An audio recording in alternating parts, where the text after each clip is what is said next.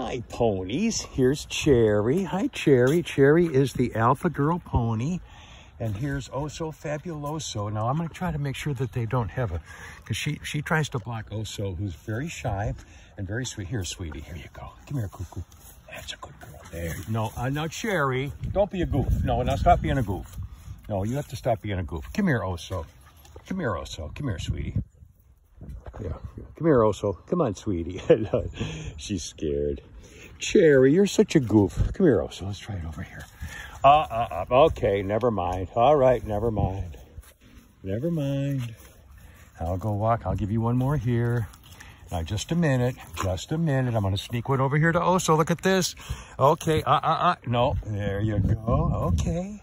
Okay. We'll do one more for Cherry. And we'll try to sneak one more for Oso. Right over here like this. There you go, sweetie. No, now be nice. Okay, off they go. Oh, gone. Well, they work it out. Again, this is horses being horses. You can't change them, and they're fine with each other. And, you know, life goes on, and they're not going to sue anybody or call mommy. All is well.